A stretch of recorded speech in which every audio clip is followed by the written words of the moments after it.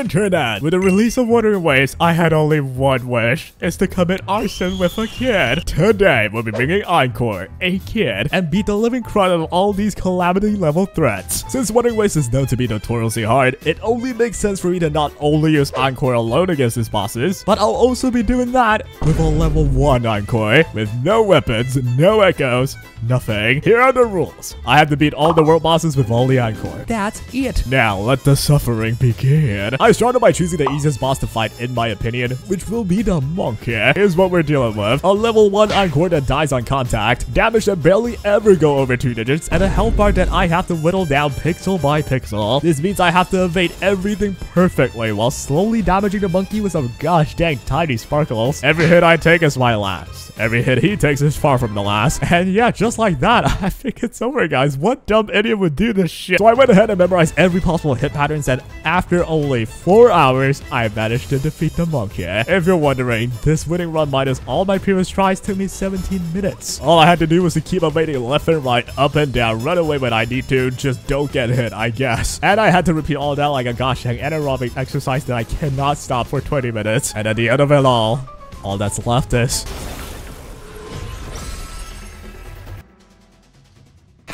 Well, I get it though. That felt kind of underwhelming, didn't it? To be honest, it is a relatively easy boss with only three different patterns to him, at least at level 45. I don't know if they get higher actually, but it's it's what I got to work with. But hey, give her some credit though. She basically had to perfectly evade for 17 minutes straight. Failure means instant death, which is honestly the hard part for me. Even if I memorized their patterns, which is not that difficult, right? I gotta execute perfectly for nearly 20 minutes. But I got no life, so I did that. Let's keep going. That is one boss down till world domination by a child. Next victim, we got the Mech Abomination.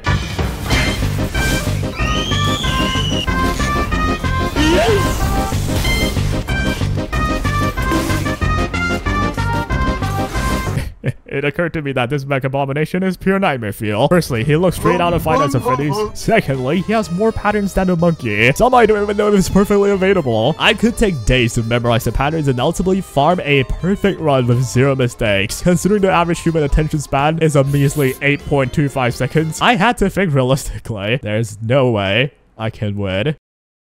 At least not fairly. Here's the thing. Encore is a very unique mechanic where she can attack through obstacles at a fairly short range. I can abuse this. The idea is this. If I can find a boss between a rock, I can attack him with Encore while the rock shields me against the boss. Pretty simple, eh? But if you extrapolate the idea, you get this.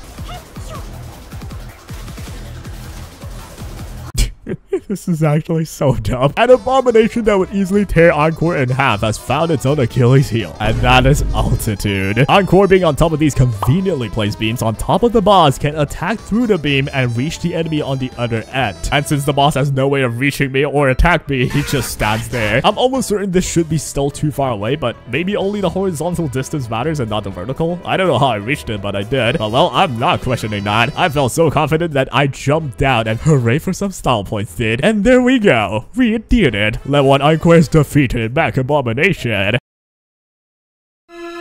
Now, if you say I didn't actually beat the boss, well, I depleted his health bar. But I get it though. You want to see this poor little level 1 kid fight the most horrific creatures and fear straight in their face. What is wrong with you? But on a real note though, I'm taking that bad. I did beat the boss and that's the video, right? However, I do feel too cheesy doing that, so let's actually beat the next target. Fair and square. Our next victim the Tempest Mephis. This fight introduced a Minecraft Enderman having ass teleporting half invisible nightmare feel. Just to put this out there, the enemies actually look terrifying in this game. Like, god, you need a whole ass reincarnation when you look that ugly, no? This enemy feels the toughest so far because I can't cheese it even if I wanted to. He can teleport up to me at all times. That meant I have to fight him although he's four times my height and two times my width. Though if you come in with a built squad, this fight is easy. I mean, all of them are if you're not a level 1 Encore, you know what I mean? He has mainly three patterns of attack, but what makes it tricky is how he teleports all the time and moves abruptly. The situation is still the same as well as the monkey. One hit from the guy and I'm mostly gone. My hit on the guy doesn't do anything either. The only way I'm gonna win is evading perfectly every time for multiple tens of minutes. One mistake and I have to repeat the whole darn thing again. After over 4 hours of trying, I got his health bar to this point and then this. That run took me 13 minutes for me to just die like that. But I am a man of will. I am a man of determination. I will dominate Wuthering Waves' entire map with a level 1 Encore. Which is why...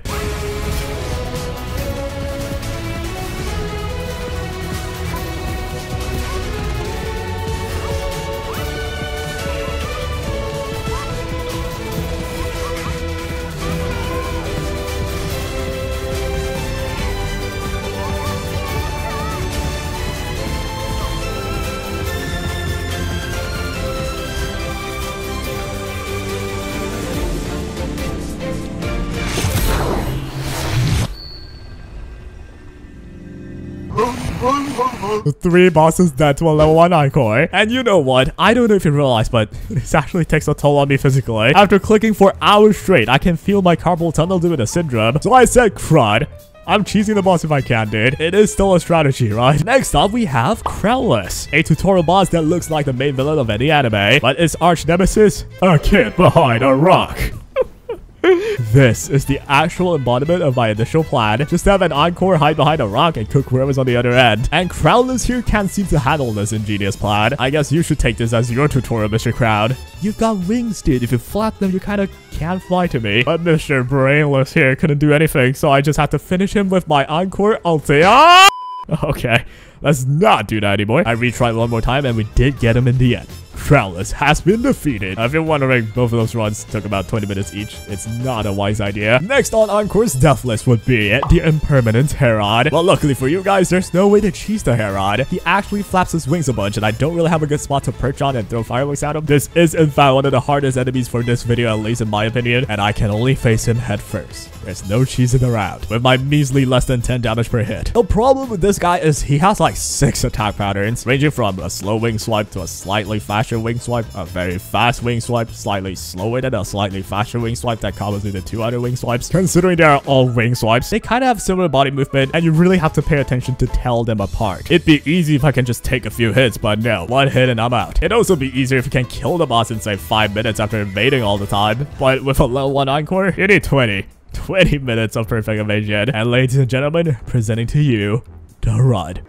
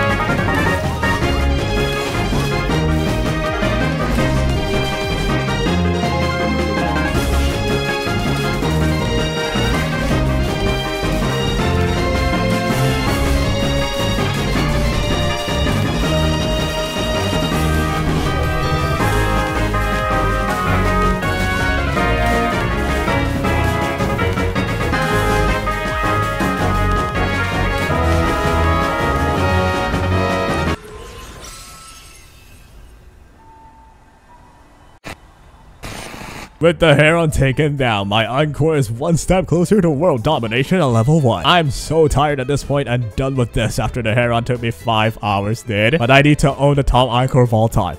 It is my calling. Either way, we see our next boss, which is probably one of the most unpredictable boss the Lone Shadow. This guy is tricky with how he has a near map-wide laser beam, very slithery and abrupt attacks, and he kinda attacks a lot. This challenge looked way too daunting to me, but not enough to daunt my unyielding determination to solo this Dragonic creature of a level 1 pink kid. This is where I reveal to you the absolute final form of what you can wring out of a level 1 Encore. After scouring through every possibility available to me, it turns out, if you zoom your camera out, make sure the enemies around the top mid of your vision stand within the boss's territory while being perched high up somewhere, you can somehow, someway, just attack the boss with Vine Core, ignoring the distance fully. This is a lot farther than when I fought the Mech Abomination, which I assumed was the maximum range. I don't know why this is in the game. I don't know how I managed to find this out, but I bet only the top percent Encore players would know about this. You'd think the game is now over, right? I just gotta keep basic attacking till you die, but no there is one slight issue. For whatever reason, this floating piece of pasta actually moves backwards after he does his laser beam move. He also happens to only use that move because he realizes everything else wouldn't hit me. Now, if he just look up and shoot that, I'd die, but thank god he doesn't do that. It'd actually be kind of cool if bosses can fully skill around a map or shoot on walls for added realism. But that's just me personally. My worry, however, if the boss moves out of my range, or perhaps out of his own territory, would I not be able to hit him, or worse yet, would he just respawn with full health? I had no other way imaginable of beating this guy without losing my mind, hence I can only put this strategy to the test. The ultimate form of a level 1 Encore.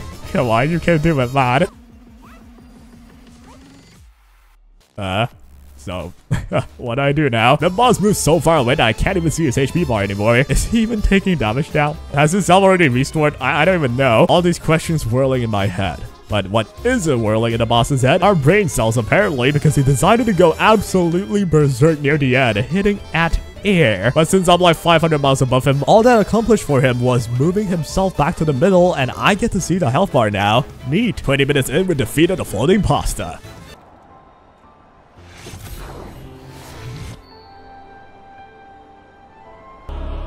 With 5 world bosses down, we're left with 3 which one has fusion damage resistance, so I do even less damage now. Another one is the same invisible Mephis guy earlier, but he has 6 attack patterns. The other one is underground, which I actually don't know how to get there. Maybe I need a higher level or something. And this is where I actually burn out.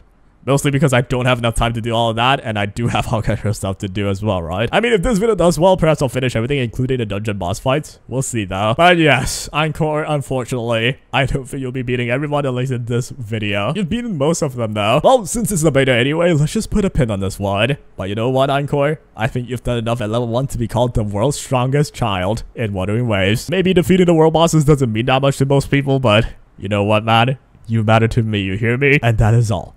I hope you guys enjoyed. We'll probably cover more Wuwa content. I don't know yet. We'll see. But for now, take care.